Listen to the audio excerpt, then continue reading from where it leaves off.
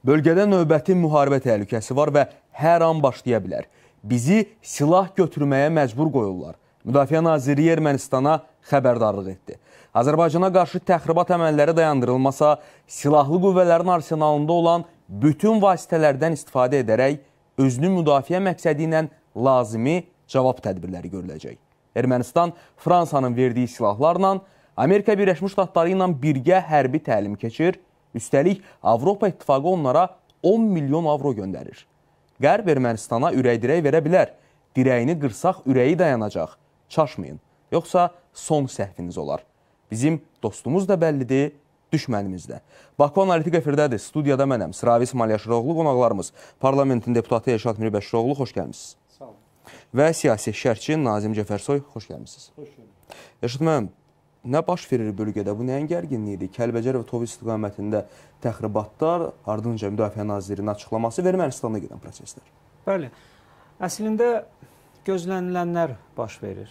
Yəni yaxşı xatırlayırıq 2020-ci ildə biz öz torpaqlarımızı Ermənistanın işğalından azad etdikdən sonra üzərimizə sistemli hücumları müşahidə etdik. Doğru deyilmi? Azərbaycan BMT Təhlükəsizlik Şurası tərəfindən qəbul edilmiş 4 qətnaməsinin icrasını öz gücünə həyata keçirməyə başladı, reallaşdırdı. Amma belə olan halda BMT Təhlükəsizlik Şurası tərəfindən, ümumiyyətlə BMT tərəfindən, digər institutlar tərəfindən Azərbaycana minnətdarlıq ifadə edilməli idi. Birincisi, dediyim kimi, BMT Təhlükəsizlik Şurasının qəbul etdiyi qətnamələrin icrasını Azərbaycan reallaşdırdı. İkincisi, Cənubi Qafqaz kimi strateji əhəmiyyətli bir regionda münaqişə potensialını aradan qaldırdı. Belə olan halda biz minnətdarlıq almalıydıq, amma bunun əksini müşahidə etdik.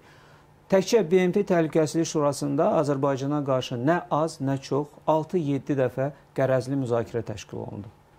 Azərbaycana qarşı qərəzli qətnamələrin qəbul edilməsinə cəhdlər olundu.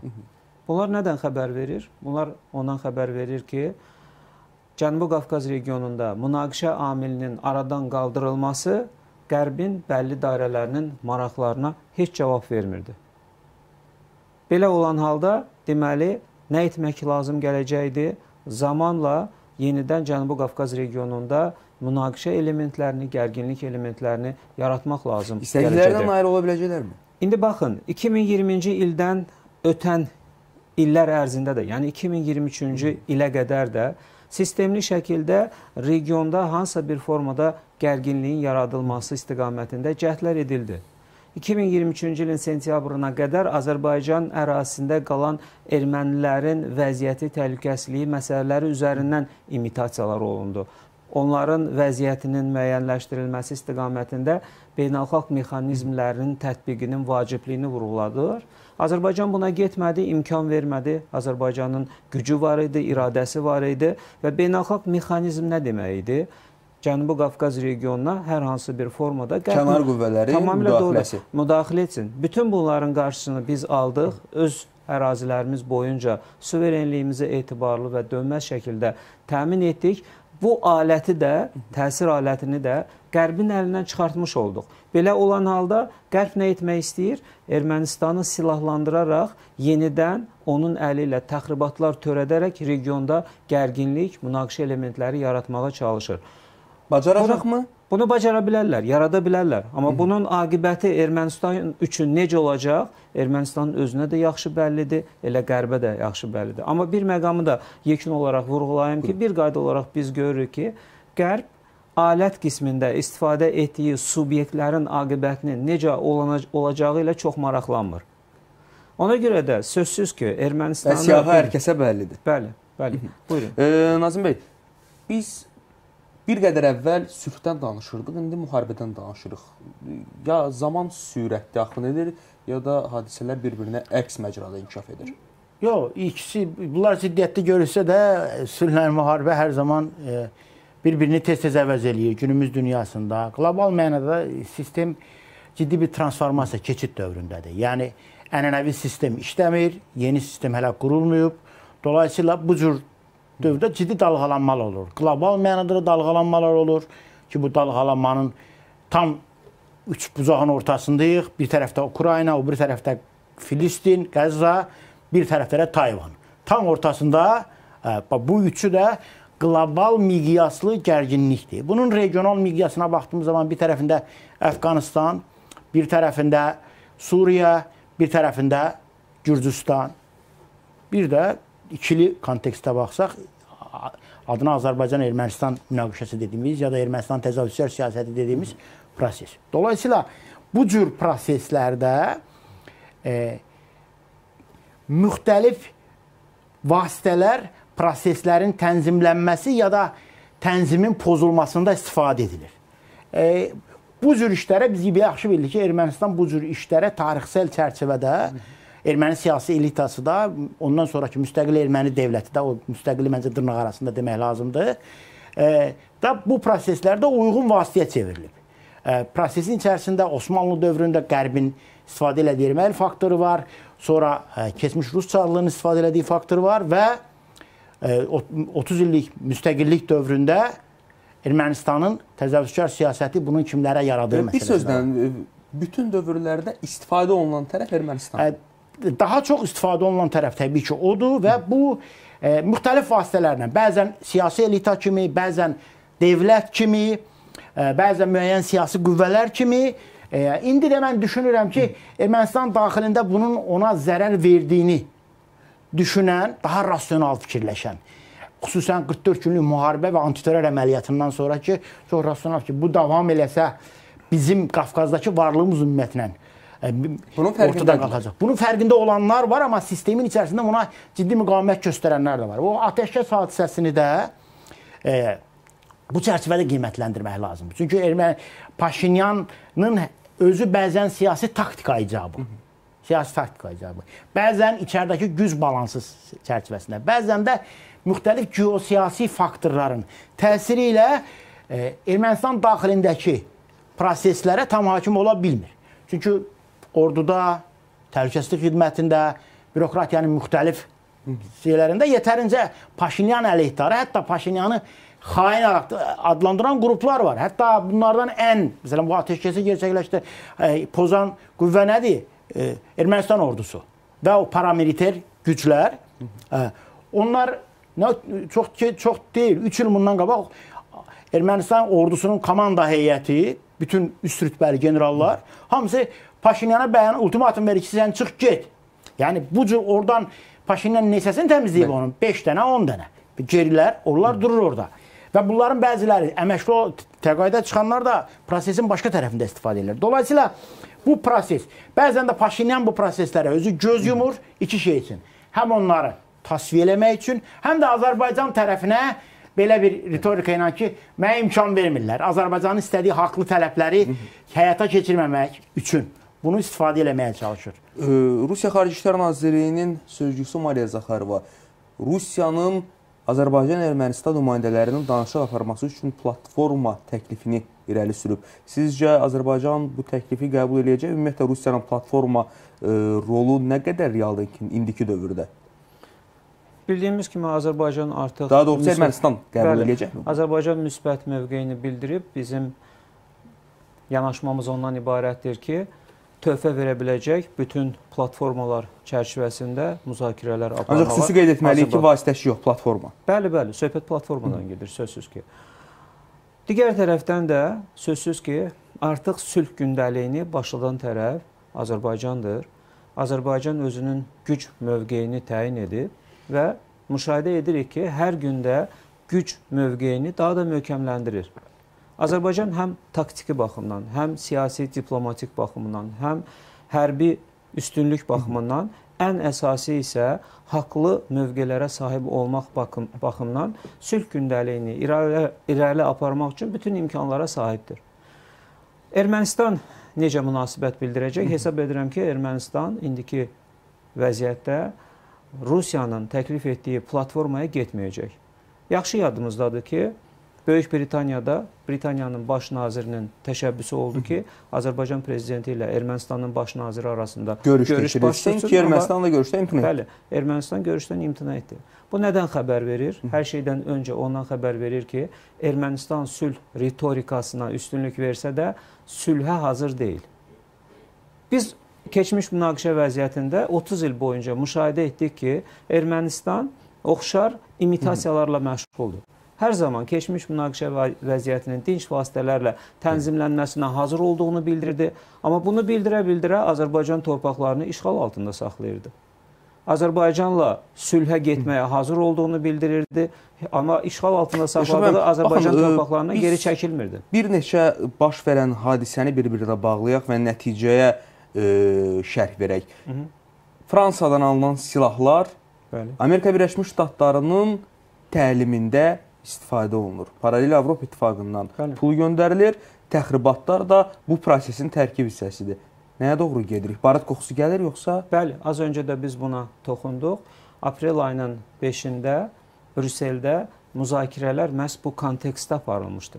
Düzdür, aparılan müzakirələrin mahiyyəti fərqli ictimailəşdirildi. Amma biz ondan öncə çox yaxşı bilirdik ki, Ermənistanla hərbi texniki sahədə daha geniş əməkdaşlıq məsələləri müzakirə olunacaqdır.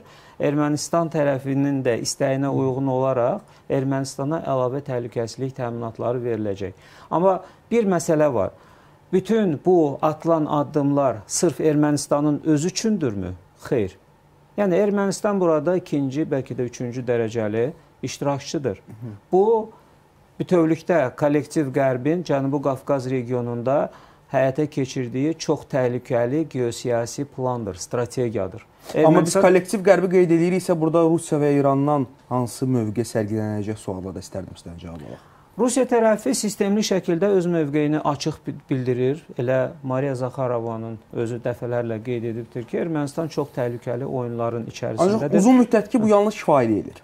Bəli, konkret addımlar atılmır. Konkret addımlar hələ atılmayıbdı, amma məsələnin təəssüfdə olan bir tərəfi də var. Bildiyimiz kimi İranla Ermənistan arasında da yenə hansısa silahların, daha doğrusu kamikadze Bəli, informasiya vasitələrində məlumatlar yayılıb bu, bu barədə. Getdi. Bunun özü də e, Cənubi Qafqaz regionunda gərginlik elementlərini yaratmağa imkan verir. Axı 30 il Azərbaycan torpaqlarını işğal altında saxlamış Ermənistana hücum xarakterli silahların verilməsi nəyə hesablanıb? Aydın məsələdir. Hücum silahları verilirsə, deməli Ermənistan o silahlardan təyinatı üzrə istifadə etməyə cəhd edəcəkdir. Edəcək.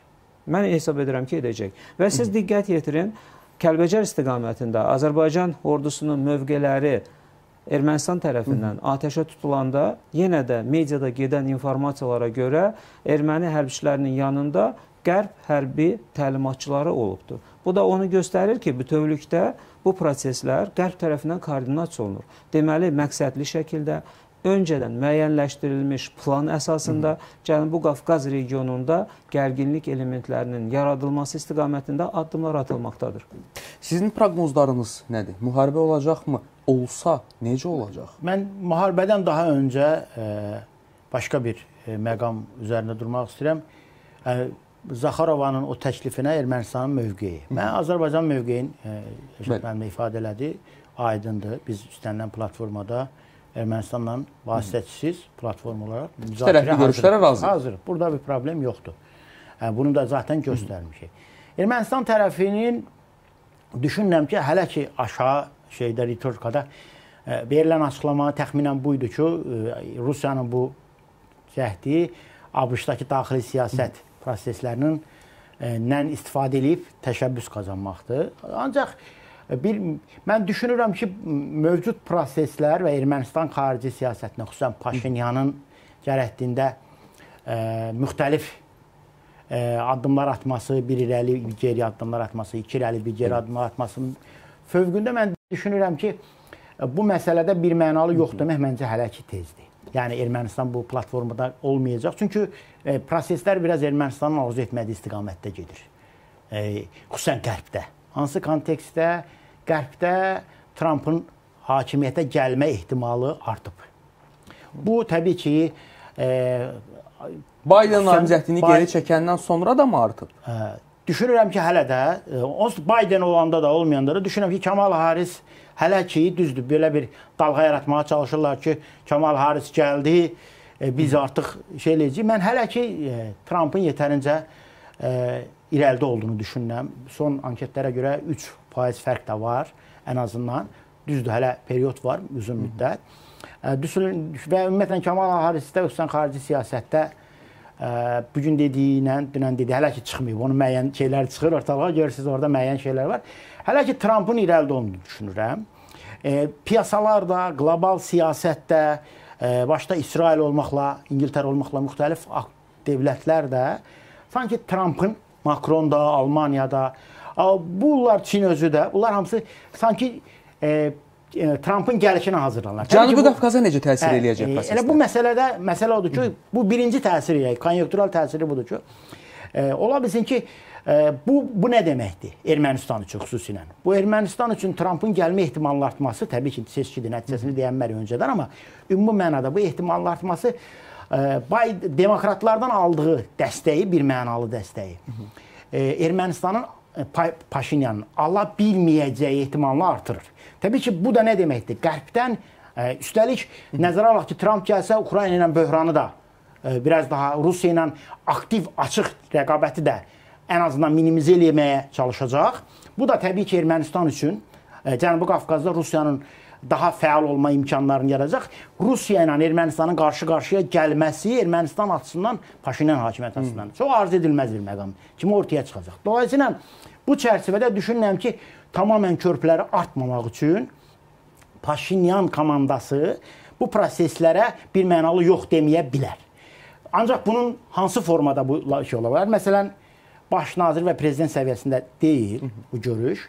Yəni Azərbaycan prezidenti Cənab İlham Əliyevlə Paşinyan arasında deyil bu formatda. Bu ola bilər ki, Xarici İşlər nazirləri, baş nazir Ermənistan Azərbaycan arasındakı müəyyən formatlar ya da spikerlər formatında və bir mənalı görüş formasında yox, bunu da elə bir zamana salıb taktiki baxımdan e, Rusiyada hansısa bir MDB və Azərbaycan və Ermənistan rəsmilərinin iştirak edəcəyi hansısa bir görüşün görüşün parçası kimi də, yəni xüsusi olaraq deyil, bu şəkildə də Xarici İşlər Nazirləri arasında belə bir görüşün keçirilməsinə, keçirilməsində Ermənistan maraqlı ola bilər. Bu birinci qlobal siyasət baxımından, qərbdən verilən dəstək baxımından. Başqa bir məsələ ondan ibarətdir ki, prosesdə e, hal-hazırda gündəmdə olan müzakirələrdə Ermənistanın Rusiyanın e, müəyyən mənada dəstəyinə ehtiyacı var. Çünki nə müzakirə olunacaq? Yəni Paşinyanın nədir? Birincisi Zəngəzur koridoru. Hal-hazırda gündəmdə olan məsələlər onlardır. İkincisi konstitusiya dəyişiklikləri. Üçüncüsü indi Ermənistanda devrəyə buraxıblar.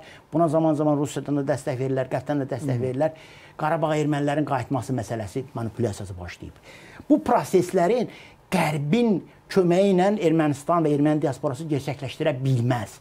Burada Rusiya kartını oynamağa ehtiyac var. Bunların bəzilərində də bunların bəzilərində Rusiyadakı bəzi qüvvələr Ermənistandakı Paşinyan hakimiyyətindən bənzər koordinatlara sahibdir. Təfərrüatlardan danışacağıq. Müəllim, Ermənistan Xarici İşlər Nazirliyinin məlumatında qeyd olunur ki, Ermənistan tərəfi Azərbaycandan növbəti təkliflər paketini göndərib məhz sülh müqaviləsi ilə bağlı. Sizcə COP29-a Ermənistanı Azərbaycan dəvət etdikdən sonra və bu ərəfədə bu təkliflər paketinin Azərbaycana göndərilməsi bizi sülhə yaxınlaşdırır və ehtimalları artırır yoxsa necə? Baxın, Azərbaycan sülhün imzalanması üçün əsas şərtlərini çox aydın səsləndiribdir. İndiki mərhələdə bizim başlıca tələbimiz ondan ibarətdir ki, Ermənistan öz konstitusiyasında dəyişiklik etsin. Xatırlatmaq istəyirəm. Ermənistan konstitusiyasının 116-cı maddəsinin 3-cü bəndində göstərilir ki, imzalanmış beynəlxalq sənədlər konstitusiya ilə ziddiyyət təşkil edə bilməz. Bu nə deməkdir? Yəni Ermənistan bu gün bizimlə sülh müqaviləsi imzalayarsa, o Ermənistan hökuməti tərəfindən, parlamenti tərəfindən ratifikasiya oluna bilməz. Çünki konstitusiya ilə ziddiyyət təşkil edəcək. Nəyə görə konstitusiya ilə ziddiyyət təşkil edəcək? Sülh müqaviləsində mütləq şəkildə tərəflərin Azərbaycan bunu vaxtı ilə irəli sürülmüş olduğu 5 şərt içərisində ifadə etmişdi. Ərazi bütövlüklərinə qarşılıqlı şəkildə hörmət, biri-birlərinə qarşı ərazi iddialarından əl çəkmək, sözsüz ki, bəli, sözsüz ki, əsas Ermənistana aiddir. Azərbaycanın heç bir ölkəyə ərazi iddiası bəli. yoxdur və olmayacaq. Amma Ermənistan konstitusiyasının preambulasında bildiyimiz kimi azadlıq müstəqillik bəyannaməsinə istinad olunur. Orada da Azərbaycana və Türkiyəyə qarşı ərazi iddiaları var. Deməli, biz bu gün Ermənistanla sülh müqaviləsini imzalasaq, bir neçə ildən sonra onlar ona əsas götürüb yeni bir müharibəyə başlaya bilər. Tamamilə doğrudur. Və siz diqqət yetirin, Amerika Birləşmiş Ştatları daha açıq şəkildə israrla tez bir zamanda Ermənistanın konstitusiyasına dəyişiklik edilmədən ölkələr arasında sülh sazişinin imzalanmasını istəyir. Bunu da davamlı şəkildə dilə gətirir. Azərbaycan bunu Deməli, istəmir. Bəli, Azərbaycan bunu istəmir, çünki Azərbaycanın qeyd etdiyim kimi əsas şərt ondan ibarətdir ki, bu gün Ermənistan konstitusiyasına dəyişiklik etməlidir. Amerika Birləşmiş Ştatlarının bunda israr etməsi nəyə hesablanıb? Bu da ona hesablı, hesablanıbdır ki, yaxşı, bu gün Azərbaycanla Ermənistan arasında nisbi sakitliyin yaradılması üçün sülh müqaviləsi imzalansın və Ermənistan kimi Amerika Birləşmiş Ştatlarının da, Qərbin də bəzi dairələrinin, yəni Avropa İttifaqının bəzi ölkələrinin yanaşması ondan ibarətdir ki, müəyyən zaman keçdikdən sonra Ermənistanı revanşa qaldırmaq üçün əsas olsun. Fikir verirsinizmi? Bu bir daha yenidən az öncə səsləndirdiyimiz məqamları aktuallaşdırır. Yəni Qərb dairələri Cənubi Qafqaz regionunda münaqişəsizlik şəraitini qəbul etmək istəmirlər. Ümumiyyətlə dünya tarixi təcrübəsi göstərir ki, münaqişə amili müxtəlif coğrafiyalarda olduqca təhlükəli, qeyri-konstruktiv strategiyanı, planı həyata keçirmək üçün ən ideal alətdir. Bu səhv yəni, son səhv olacaq. Sözsüz ki, baxın, Azərbaycan kifayət qədər güclü, dediyim kimi, siyasi və Hı. Diplomatik mövqelərə sahibdir. Azərbaycanın ordusu kifayət qədər güclüdür, dünyanın ən güclü orduları sırasında yer alıbdır. Ölkə prezidenti cənab İlham Əliyev də dəfələrlə qeyd edibdir ki, biz Hazırda 2020-ci ildə torpaqlarımızı Ermənistanın işğalından azad etmiş ordudan daha güclü orduya sahibik. Bu nə deməkdir? Bu o deməkdir ki, birincisi Ermənistan heç bir halda Azərbaycanla açıq döyüş şəraitində hərbi müstəvidə mübarizə apara bilməz. Sözsüz ki, Qərb hər tərəfli dəstək olacaq. Biz bunu ayrı-ayrı coğrafiyalarda görürük. Bu da münaqişə elementlərini ortaya qoya bilər. Coğrafiyanı da genişləndirə bilər, müharibə coğrafiyası. Sözsüz, elə Qərbin əsas istəyi ondan ibarətdir ki, bütövlükdə Cənubi Qafqaz regionu böyük bir silahlı qarşıdurma meydanına çevrilsin. Belə halda az öncə mən səsləndirdiyim kimi o beynəlxalq mexanizmləri tətbiq etmək üçün münbit şərait yaranacaq. Hı -hı. E, siz az əvvəl qeyd etdiniz, İran Ermənistana 500 min dollar dəyərində böyük silah müqaviləsi imzalayıb və göndərəcək. Bu xəbərlər sosial şəbəkələrdə, kütləvi informasiya vasitələrində yayıldı. Ermənistan Xarici İşlər Nazirliyi, Ermənistan Müdafiə Nazirliyi və digər qurumlar bunu təqzib eləsələr də bu xəbər var. Sizcə yalandır yoxsa doğru? Yalandırsa kimlər yayır bu yalan xəbəri? Əvvəla bu xəbər yalan da olsa, doğru da olsa, Azərbaycan e, bu məsələ bizim üçün ciddi, Azərbaycan dövlətinin milli maraqları üçün ciddi risklər ehtiva edir, təhlükələr ehtiva edir. Doğru olduğunu var saymaq üçün əlimizdə yetərincə səbəb var. Nədir səbəb? E, Ermənistanla İran arasında e, son 30 ildə baş verənlər. Bəs e, Ermənistanın qərbin yanında olması maneə yaratmır buna? Yox, mən yaratmadığını görürük, praktik olaraq görürük. Yaratmalı da amma yaratmır. O da çox qəribə bir paradoksal bir şey deyəcəm. Bəli. Onu da deyəcəm. Necə şey? Məsələn, Ermənistanın İranla 30 ildəki münasibətləri, İran-Ermənistanla münasibətləri, 44 günlük müharibə sırasında əlimizdə çünki şeylər var. 44 günlük müharibə sırasında e, er, İranın üzərindən Ermənistana hərbi e, sursatın tranzit edilməsi, hətta bu günlərmi ona qarşı çıxan Güney Azərbaycanlıları İran həbsxanalarına atıblar və bu məsələ də bizim məncə həm mətbuatın, həm də dövlət rəsmilərinin diqqətində ol olmasında çox fayda var. Çünki onlar Ermənistana silah yardımına qarşı çıxıblar Tehranın. Bu məsələ də çox əsas. Bu da bizi göstərir. Müharibə dövründə bilirsiniz, daha sonra da rəsmi mənbələr tərəfindən təsdiqləndi. İran hərbiçilərinin Azərbaycan ordusunun yoluna çıxması müəyyən məqamlar, bu məsələlər var. Ancaq indiki yəni, son dövrdə baş verən e, hadisələr münasibətləri yəni, biraz fərqli və, məcrada inkişaf edir. Və başqa bir şey, 4 il boyunca İranın hərbi hərbi manevrləri filan və çox maraqlı bir şey var. Bu müqavilədən çox qısa bir uzun bir, bir müddət əvvəl e, İranla e, Ermənistan hərbi rəsmiləri arasında və təhlükəsizlik xidməti orqanları arasında ciddi əməkdaşlıq və heyət şeylər. Müdafiə nazirlərinin gedişi, böyük bir general heyətinin təxminən 1 il, il yarım bundan əvvəl e, Ermənistana getməsi yuxarı səviyyədə, e, Ermənistana İranın Bu təbii ki, Pezeşkandan öncəki -hı. o gərginlik dönəminin şeyləridir. E, Ermənistana İranın Suriyədəki səfirinin təyin edilməsi, bütün bunlar təsadüflərdən xəbər vermir. O gərginlik olan e, bölgələrdə. Qaydaq indiki proseslərə. İndi buradan məsələyə gələcək olursaq, O biraz əvvəl dediniz, Qərb buna necə münasibət göstərir? Bax indi Qərbin Ermənistanla İran arasındakı münasibətləri hələ bir neqativ təsirini ciddi mənada bəyanat etdiyini görməmişik. Azərbaycanla İran ə, e, çox mülki amaçlarla oradan bir körpüsü alırlar. ABŞ departamenti onunla bağlı rəsmi bəyanat yayır. Xatırlayırıq da bunu yaxın dövrlərdə oldu. Ancaq bu cür Ermənistanla İran arasında ciddi silahlanma prosesi olur. Bura qərbdən reaksiya gəlmir. Hələ-hələ bugünkü seçki, erməni diasporası, seçki məsələsindəki durumlar nədəni ilə bu reaksiyanı mən çox gözləmirəm. Bu işin bir tərəfi.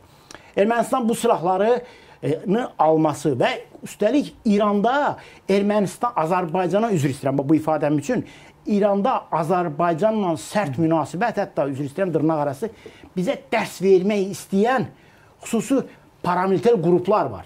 Bunlar dövlətin içərisində müəyyən orqanlarda xüsusi gücə sahibdirlər. Onlar çalışırlar ki, Azərbaycan-İran münasibətləri normallaşmasın. Ermənistan da bunun üçün tramplin kimi istifadə edilir. Digər tərəfdən xəbər verən qrup da çox maraqlıdır. Bu xəbər yayan və xəbər, xəbər verən bəlkə də həqiqətə uyğun deyil, ancaq hə, ikisi də. Birincisi bu xəbərin doğru çıxması Azərbaycan-İran münasibətlərində pozacaq. Yəqin. Çünki həm də zamana fikir verin, zamanına. Azərbaycan Tehranda səfirliyi açır.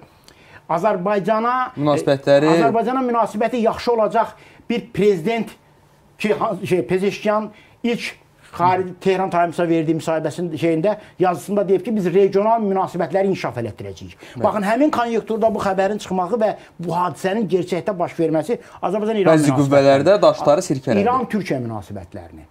Eyni zamanda yeri gələndə çünki bu İran Rus bazar, Rus hərbi bazarına girir. Rus-İran münasibətlərini pozucu xarakterdə gərginliklər yaradacaq. Plus xəbəri verən qrup da çox maraqlıdır zamanı ilə bərabər. İran International Səudiyyə Ərəbistan sərmayəsi ilə maliyyələşdirilən bir təşkilatdır. Mərkəzi Londondadır. Bir ara Vaşinqtonda olub geri gəlib İran tərəfindən terrorist qruplaşma kimi xarakterizə edilib mətbuat orqanıdır. İrandakı problemlərə yönəlik müxalif cəbhədə. Müxalif cəbhədədir. Hətta deyim ki, ən təsirli iki adamından biri Xamneyi dövründə mətbuat e, nazirinin müavini olub. Yəni bu dərəcədə sistemlə içli dışlı olan şeydir. Onun bu zaman bu şəkildə bu informasiyanı verməsi çox maraqlı şeylərdən xəbər verir. Üstəlik bunun indi ortaya çıxmasının bir İran perspektivindən bir məqamı da var. Onunla da yekunlaşdırım. Bu eyni zamanda İran açısından belə bir plusu da özündə ehtiva edir ki, bu erməni diasporası, demokratlar münasibətindən istifadə edilərək Trampın hakimiyyətə gəlməsini əngəlləyici bir xarakterə də sahibdir. Hə, son vaxtlar Azərbaycan-Çin arasında münasibətlər sürətlə inkişaf edir və e, bu münasibətləri də gözü götürməyən qüvvələr var. Ümumiyyətlə e, İran məsələsi ilə də bağlı istərdim sizin fikirlərinizi öyrənək. Son dövrlər iki ölkə arasında münasibətlərin inkişaf etdirilməsi bəlli qüvvələrin bu bölgədə olan maraqlarına ciddi təsir eləyib ki, onlar bu informasiyaları yayırlar və münasibətlərə kölgə salmaq istəyirlər. Nə düşünürsünüz? Sözsüz. Ümumiyyətlə Azərbaycanın xarici siyasətinin başlıca prinsiplərindən biri ondan ibarətdir ki, dünya ölkələri ilə bərabər hüquqlu, konstruktiv münasibətlər sistemi, əməkdaşlıq quraq.